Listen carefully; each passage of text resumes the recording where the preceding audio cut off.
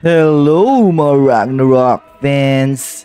In today's video, gagawa ulit ako ng weekly update for my F2P High Priest. right now, 363,000 combat power, okay? As in F2P. And before the update, gumagawa ko lagi ng isang ano, sub-topic which is for this week maging subtopic ko is yung laging tinatanong saan daw nanggagaling yung aking magical and physical damage reaction. So, susuriin natin saan ba sila magandang kunin, di ba?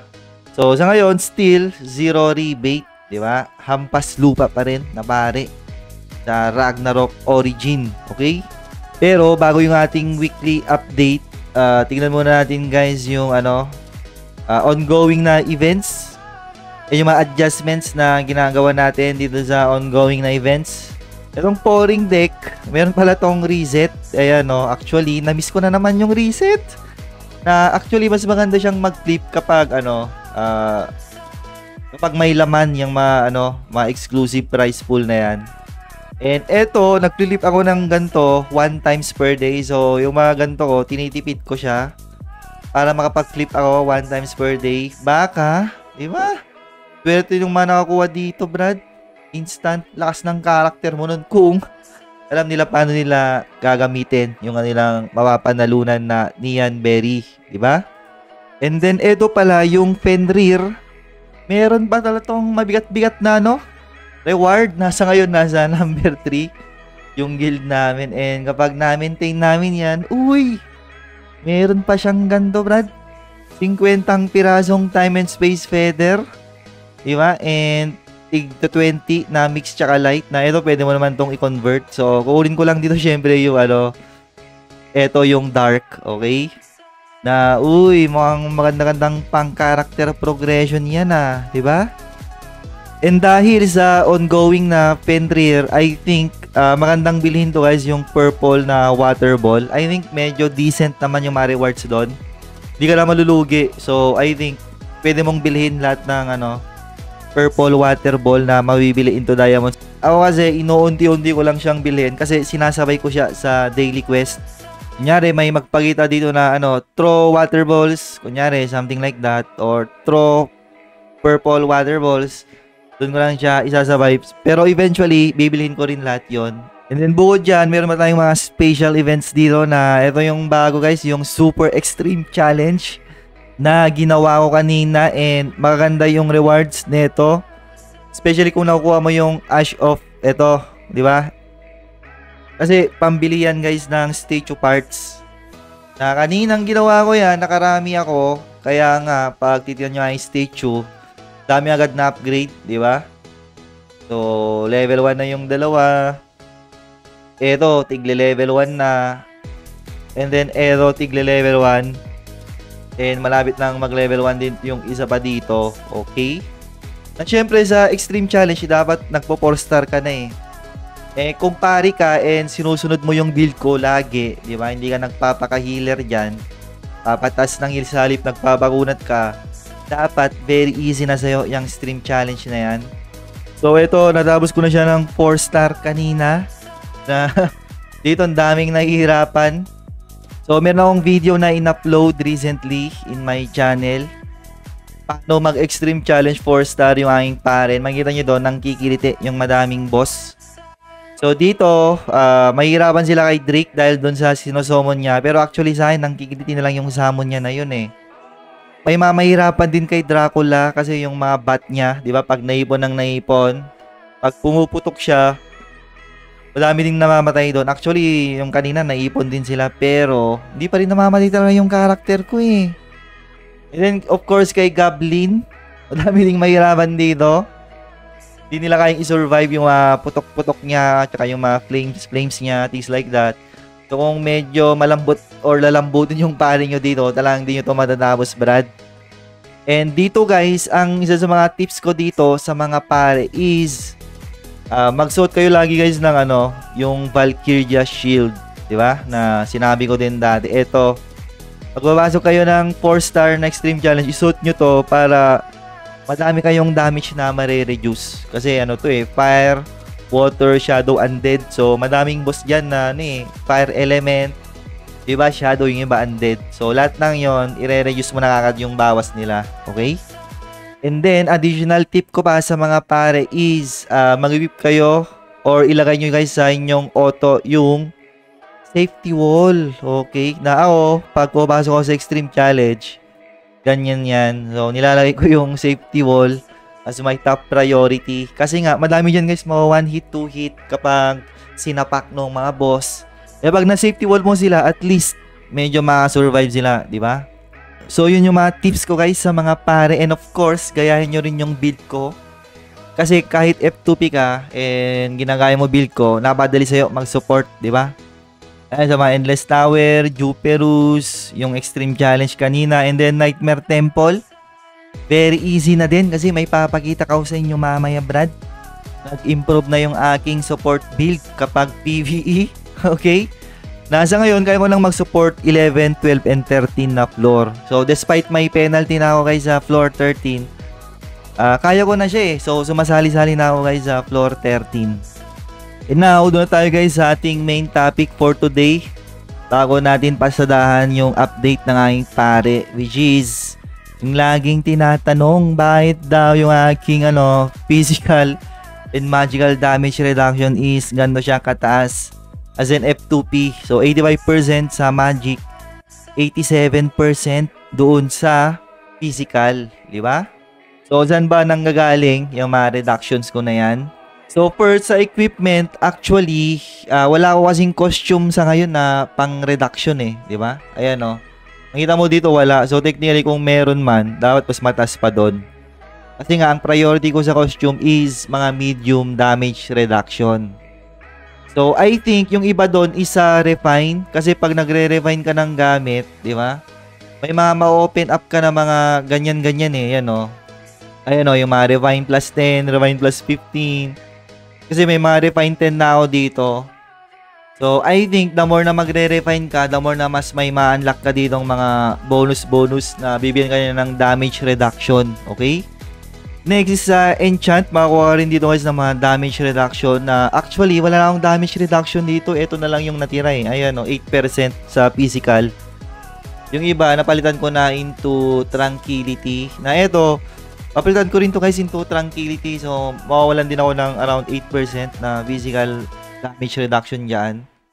So, kung gusto mo, pwede mo yung kunin dyan kapag medyo malambot-lambot ka pa sa mga PvE. Ako kasi, talagang makunat-kunat na yung character ko pagdating sa mga boss fight. Kaya dito, hindi ko na kailangan ng ano, mga ganyang P damage reduction.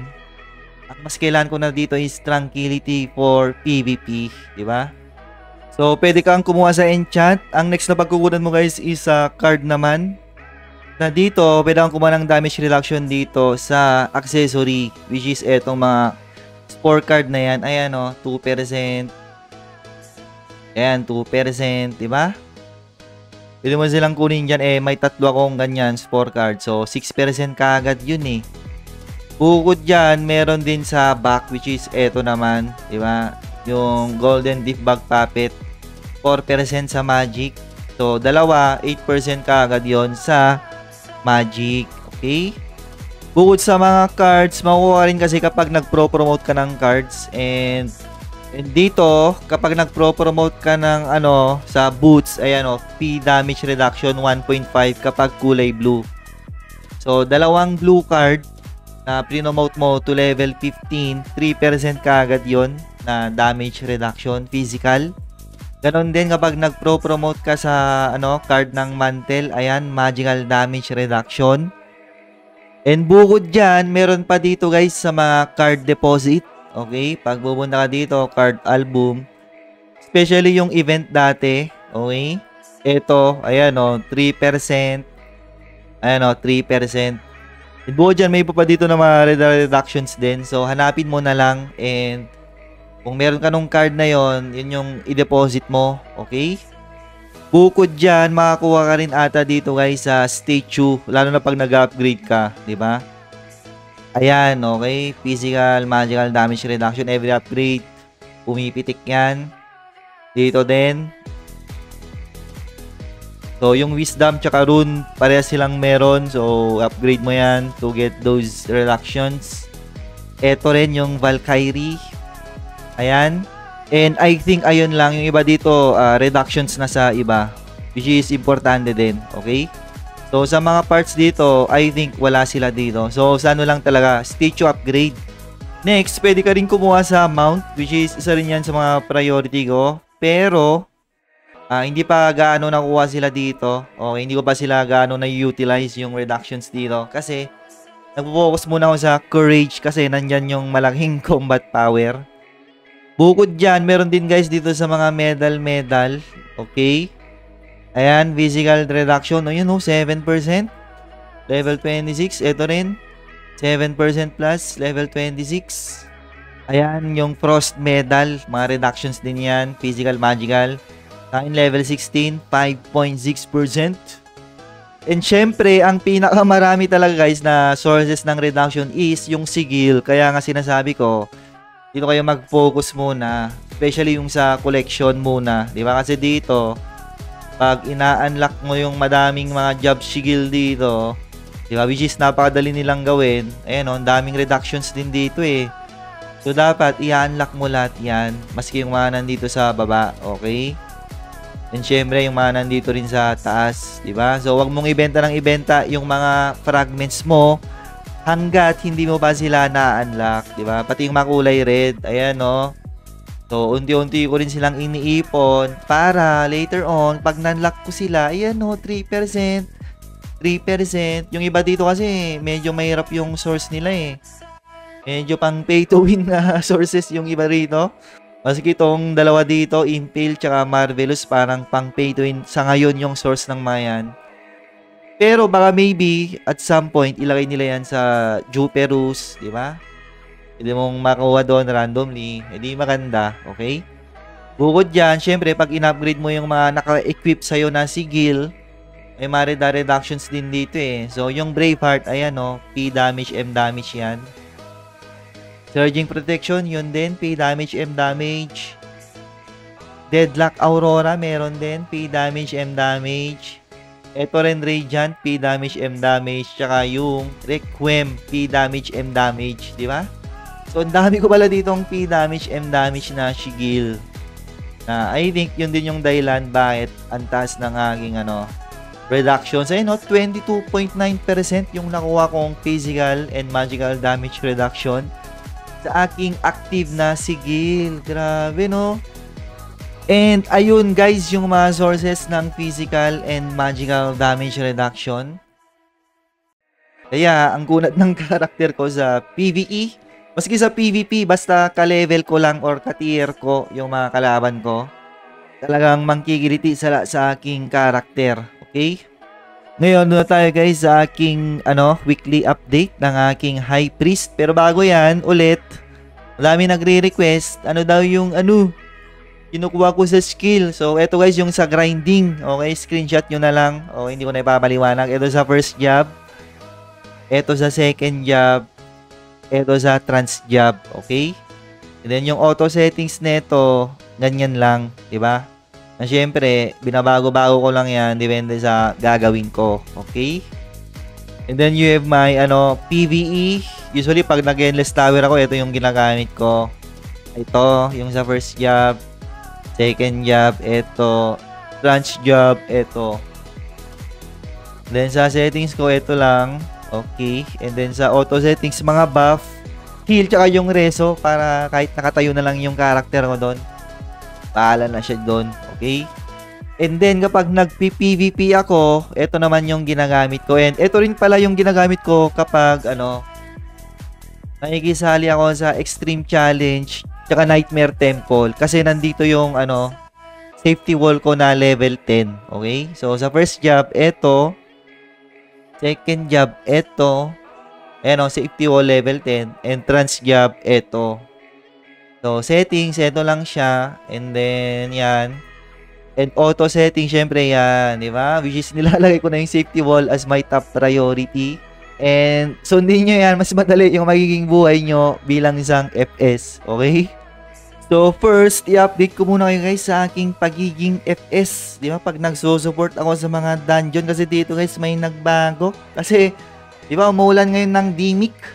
Parang dami nilang pinapamigay ngayon na Dimic and uy, nakakuha ko guys ng ano, di ba? Holy Light Boost. Ito na nga ba yung sinasabi ko? Tsaka ano, yung Healing Prism na nakuha ko last time. And because of that, uy, lumakas na yung heal ko, Brad. Di ba? Ayan o. Oh. Uy, 38,000. And recently, uh, na level 3 ko na guys yung aking immortal body. Ano ba nangyayari guys pag nagle-level 3 yan? Ayan no. 30% healing taken, 30% healing done. So technically parang gamit na gamit talaga yan. And kapag pumipitik yan, actually yung heal ko nagiging 55,000 na yan, Brad. Di ba? Sa sarili ko, And then, nagiging 40,000 plus na siya sa mga target ko. Kasi sila mas mababa yung healing taken nila eh. And ang mas malupit pa dyan, eto. So, napatear up ko yung isa kong pet. Di ba? Yung Child of Earth, ano na siya eh, tier 7 na siya. And kapag pumapasok siya, yari, namamatay yung pet ko and bigla siyang pumapasok. Uy! Di ba? Kapag nag-switch yung pet ko na to, additional 20%, P damage, M damage for 10 seconds. Kaya kapag nag-switch to guys, at the same time, pumitik yung aking ano, erong immortal body, pumapalo ng 60,000 plus yung heal neto. diba? And yung heal ko sa mga kakampi ko, nagiging ano, 45,000 to 50,000 plus. Talagang buhay na buhay na sila. Bukod doon, sobrang kunat pa ng karakter ko. Okay? Kaya sa ngayon, ewan ko na lang kung may magre-reklamo ba kasi ang tas-tas na ng heal ko. Bugok na lang siguro yung karakter na hindi mabubuhay sa heal neto, di ba? Eh bukod diyan, dami ko pang healer na pet dito eh. And yung mga pet ko pa dito kapag namamatay sila, plus 20% HP kaagad yun sa mga kakampi mo, di ba? Kaya yun talaga yung mangyayari yan guys, despite hindi ka magpo-focus sa heal, at some point, kapag nilinis mo yung iba mong stats, di ba? Susunod at susunod yan, yung healing capability mo during mga boss fight. Ang problema kasi kapag inuna mo yung healing, di ba? Eh malambot ka, mayayari ka sa mga extreme challenge 4 star, mga endless tower floor 50. May stress ka pang mag-support diyan eh kasi iilag ka pa ng iilag, di ba? Kailangan mo pa ng mga tank. Ako kahit di ko na kailangan ng tank eh. Kahit sa akin mag-agro yung boss okay lang. Kasi nga, kaya ko nang isustain yung mga bawas ng boss and a lot of them nang kikiliti na lang. Okay? And additional update din dito is, oy, malapit ko ng ano, manlock yung aking refine. ba diba? Isa na lang oh, pero sobrang malas. So, pumasok nga yung isa. Ito naman ngayon yung mahirap na ipa-refine. Okay? Pero, ganun talaga, di ba? Tsaga-tsagaan. And makikita nyo, di ba? On every event na nire-release, talagang nagpapaulan sila guys ng ano, yung mga ganyan no, mga pang-refine. Na tulad ng sinabi ko, darting sa point guys na parang ikaw na magsasawa sa Elonium at Oridico na pinapamigay sa'yo. Kaya dapat hindi mo pinipilit yan sa una talaga. And syempre, pag nanlock ko yung ano, synergy na to, uy, additional combat power kasi daming stats niya no. P damage, M damage, tsaka HP. Okay. And then of course, yung aking enchantment, 'di ba? Na-unlock ko na rin guys yung synergy. So ang next synergy na is enchantment plus 40. So medyo matagal-tagal 'yan. Kaya ang gagawin ko na lang, ang target ko na next is magpapa-level 4 ako guys ng mga special effect. Ayan. Kailangan kong ma-level 4 lahat 'yan. Kasi mahirap na i-goal yung ano level 40 enchant sa ngayon. Therefore, Di ba? Papa-level ano na lang ako, level 4 kasi wala pa ata akong level 4 dito eh. Puro level 3 pa lang tsaka level 2. And of course, kapag nag-level 4 sila, additional combat power ulit yon Okay? And then, ito rin yung binago ko ngayon sa aking Vero score, sa aking ano, PvP setup. So, ipinasok ko to kasi para silang pampakunat, Angelus Effectiveness tsaka Crisis Resistance. So, ang nakasama niya is yung crisis resistance na kapag lower than 20% yung aking buhay, mas konti na supposed to be yung matatanggap ko na bawas. So, pwede na rin kasi uh, pang-combo na rin siguro yan dito yung Deadlock Aurora. what if uh, nagko-cooldown yung Deadlock Aurora ko? So siguro pwede nang pang-hold siguro ng damage 'yon. Medyo ma-reduce ko yung bawas habang inaantay ko yung ano cooldown ng aking ano Deadlock Aurora. So may mga smell doon din ako nakuha pero actually wala namang kwenta yung mga yan, di ba? Walang kwenta yung single skill na ano guys, smell doon dapat uh, dual skill ka agad yan, okay? And then you have my guild skill na actually parang kaya na tong ipa-level 40 eh, di ba? This week. Ang problema yung Eden coin, yun na lang yung inaantay ko. Ito yung pina-priority ko muna, kaya hindi ako nag-enchant eh. Kailangan pa level 40 ko na lang muna no, para wala na akong pro-problemahin. Kasi I think level 40 na yung max nila eh. And once na nag-level 4 ito, saka na ako mag-enchant. Ubusin ko na yung Eden coins ko for enchantment. And kapag nag-level 40 to, most likely hindi na ako bibili ng ano, dito sa Diamond Shop, yung mga guild token chest na yun. Actually, hindi ko na siya binibili pala recently. Kesa dito, I think, ito na lang yung binibili ko pala recently. Ayan. So, ino-open ko siya and then dinidismantle ko lang. Okay? Tulad ng ganyan. Open up ko lang ng yan and then didismantle ko lang. Kukunin ko lang yung ano, yan, yung ash na yan para mas mabilis akong bumili ng statue parts na pang-upgrade. Okay, ayan o, oh, 156. So, meron na naman pang-upgrade. Ito, so pwede mo na itong ipa-level 1, di ba? Ayan, 120. So, uy, okay, combat power. And then you have my feathers na malapit nang mag tier 9 lahat guys ng aking divine feathers. Parang dalawa na lang eh. So siguro baka 2 weeks na lang ata. Or kapag nakuha ko yung reward ko sa Fenrir, uy, talagang tier 10 na or tier 9 na lahat yan. And then magkakaroon na ulit ako ng power spike. Ha? Tatas ulit yung combat power nito. Kasi ito, mangyari na dito, remove ko na yan. And then, i-recuperate ko yan, kukunin ko yung mga nakukong feathers, di-dismantle ko, and then, i-upgrade ko yung mga ganyan, Terra, tsaka Sky, di ba? Pwedeng pwede na tayong mag-upgrade, Brad. Dito sa feather, eto, okay. Ito na yung next na power spike ng character ko. Pag sinalpak ko to, and then i-upgrade ko siya. Wala na yung combat power yon and mag-improve pa overall yung aking ano, PVP damage reduction kasi nga ma-open up na yung set effect bonus na Raven's Hour. Ayan no, di ba? 80% PVP stats. So, road to 2,000 plus uh, PVP damage reduction na ako in the coming months. Okay? Ngayon, let's say makuha ko na yung mixed feather na reward sa Fenrir. Ano yung pwede kong gamitin doon?